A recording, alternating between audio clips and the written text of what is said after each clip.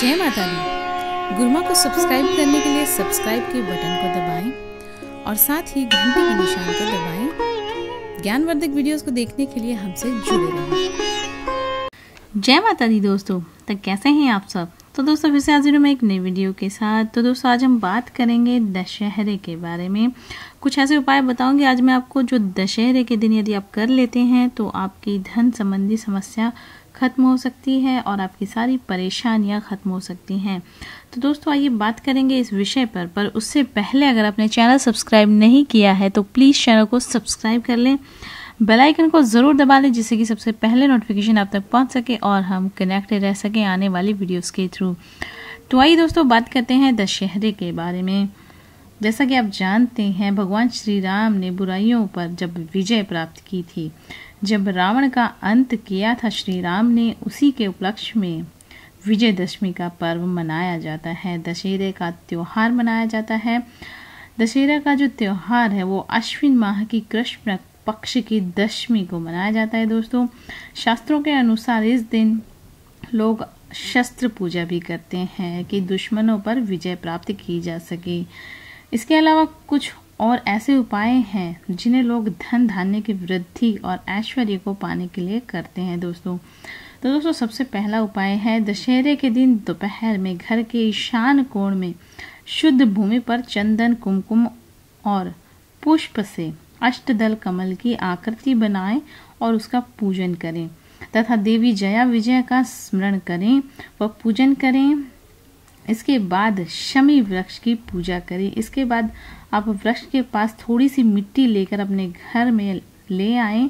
ऐसा माना जाता है कि ऐसा करने से आपके कोई भी रुके हुए काम है, वो बहुत जल्द बन जाएँगे। घर से गरीबी जाती रहेगी, पैसे की कभी कमी नहीं आएगी। तो दोस्तों, दूसरा उपाय है, यदि आप कानूनी दावपेच से परेशान हैं, मुकदमे में फंसे हुए हैं तो आपको दशहरे के दिन शमी के वृक्ष की आपको पूजा करनी है और शाम को उसके नीचे आपको दिया जलाना है। ऐसा माना जाता है यदि विजयदशमी के दिन ऐसा किया जाए तो मुकदमे में विजय मिलती है और धन की प्राप्ति होती है। दोस्तों, तीसरा उपाय है संकट हरने में संकट मोचन भगवान हनुमान जैसा कोई नहीं है। यदि आपके सामने किसी प्रकार का संकट हो तो दशहरे के दिन सुबह गुड़ चने और शाम को लड्डुओं का भोग लगाकर प्रार्थना करें। इससे हनुमान जी आपकी रक्षा करेंगे और आपके सारे बिगड़े हुए काम बन जाएँगे। आपको किसी प्रकार का भय नहीं रहेगा। दूसरा, चौथा उपाय है हर जगह क्षेत्र में विजय पाने के लिए दशहरे के दिन देवी पूजन करें और उन्हें दस प्रकार के फल चढ़ाएँ व गरीबों में भी बांटें। फल बांटते समय ओम विजय नमः मंत्र का जप करें और ऐसा उपाय दशहरे के दिन दोपहर के समय आप कर सकते हैं।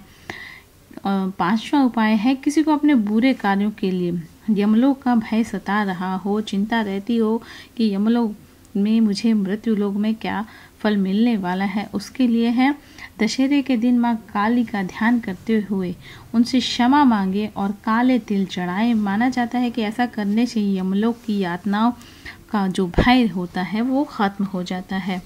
तो दोस्तों, ये थे छोटे छोटे से उपाय। ये आज आप दशहरे के दिन कर सकते हैं। ऐसा करने से आपको बहुत सारे लाभ होंगे, धन की प्राप्ति होगी और अगर आपको मृत्यु लोक का भय सताता है, वो भी जाता रहेगा। तो दोस्तों, ये थी छोटी सी वीडियो दशहरे के विषय में अगर अच्छी लगे तो लाइक ज़रूर करें शेयर करें कमेंट्स करें और चैनल सब्सक्राइब नहीं किया है तो प्लीज़ चैनल को सब्सक्राइब कर ले। तो दोस्तों, आप सबको मेरी तरफ़ से wish you very happy Dussehra. बहुत सारी शुभकामनाएँ आप सबको दशहरे की। तो दोस्तों, मिलेंगे ऐसी किसी नई वीडियो के साथ। तब तक के लिए जय माता दी।